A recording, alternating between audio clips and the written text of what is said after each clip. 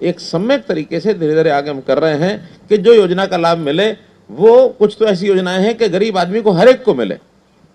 वो फिर गरीब में कोई जाति है, कोई उसका वर्ग है, गरीब तो गरीब है।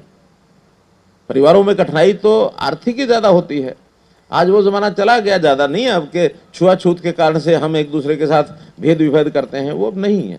हमारा समाज काफ़ी कुछ समरसता की ओर बढ़ गया है।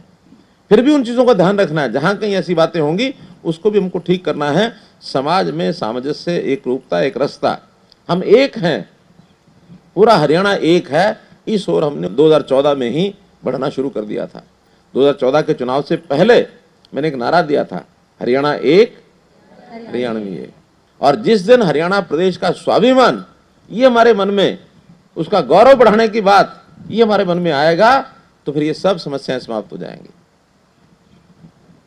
इसलिए हमको बहुत एक तरीके से काम करना है।